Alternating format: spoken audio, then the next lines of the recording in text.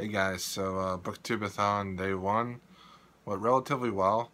Uh, I read for seven hours today. I wanted to read eight hours, but I found myself on my phone for the past like half hour and just realized I'm done for the night. So, uh, you know, seven hours is pretty good.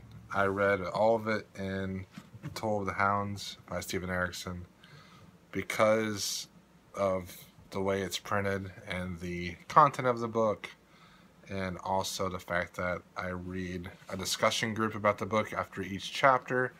I'm not as far as I would like to have been, but I made a lot of progress. I probably read about 160, 170 pages, which is pretty good um, with how dense the book is. And it was a great day. I'm enjoying the book a ton.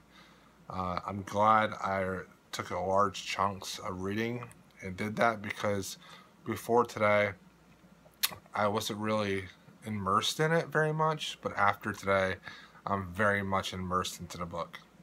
So I'm looking forward to reading this a little bit more tomorrow.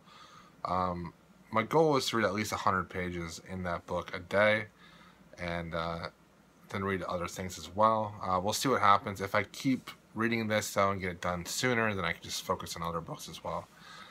Uh, thanks for watching. Just wanted to give my daily update of my booktubeathon. It's going pretty well.